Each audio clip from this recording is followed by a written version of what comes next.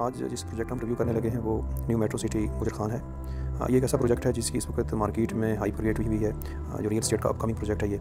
और ये एक अच्छी कंपनी का प्रोजेक्ट है, जिसका एक ऑलरेडी प्रोजेक्ट खारियाँ के मुकाम पर अंडर डेवलपमेंट है। इस प्रोजेक्ट में जो चीज़ हम आज इसका क्रिटिकल जायजा लेंगे, और इससे पहले आपसे रिक्वेस्ट है कि आप चैनल को सब्सक्राइब करें और लाइक करें, ताकि इस तरह की इन्फॉर्मेटिव वीडियोज़ हम लेके आ सकें। इस प्रोजेक्ट का अगर आप पॉजिटिव पहलू देखें तो इस प्रोजेक्ट की ज़मीन डेवलपर्स के पास तकरीबन पाँच लाख नाल क्लेम की गई है, वो अवेलेबल है। और ये एक ऐसा एरिया है कि जहाँ पे ज़मीन ईजीली अवेलेबल है।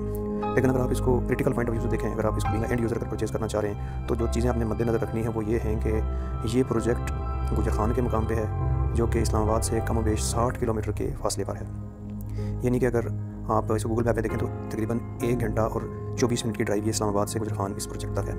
तो इसमें जो चीज़ आप मद्देनज़र रखें, अगर आपका तल्लक गुजर खान के सफ़र एरिया से है तो फिर ये प्रोजेक्ट आपके लिए बेहतर है रेजिडेंशियल पर्पजेज़ के लिए। लेकिन अगर यहाँ इन्वेस्टमेंट करना चाह रहे हैं और जिस तरह की ये मार्केट में हाइप है कि आप आए प्लाट ले जाएँ और कन्फर्म बुकिंग के लिए रब्ता करें तो आप ये चीज़ मद्देनज़र रखिएगा कि इस प्रोजेक्ट में इस्लामाबाद से, रावलपिंडी से, लाहौर से, पशावर से, कराची से या किसी भी बड़े शहर से किसी ने रहने के लिए नहीं आना। ये सिर्फ़ उस लोकल कम्युनिटी के लिए है कि जो वहाँ पर सफ़र एरियाज़ में रिहाइश पजीर है। इसलिए ये चीज़ आप देखिएगा कि आपको बहुत सारे लोग जिस तरह ये ऐड आ रहे हैं आपको अट्रैक्ट करने की कोशिश कर रहे हैं और कुछ ऐसे मेहरबानी भी हैं जिनका अच्छा खासा बिज़नेस है। वो भी पहले आओ और पाले पाओ की बुनियाद के ऊपर ये ऑफ़र दे रहे हैं। लेकिन ये देखिएगा कि अगर आप इसकी फ़ाइल परचेज़ करते हैं और इसकी ट्रेडिंग करते हैं तो फिर तो हो सकता है कि दो महीने, तीन महीने तक इसका काम अच्छा रहे। लेकिन उसके बाद जब ये एंड यूज़र की बात आएगी तो आप ये ना हो कि अपनी इन्वेस्टमेंट के बारे में सोचना शुरू करें जब आप बहुत आगे बढ़ चुके हों।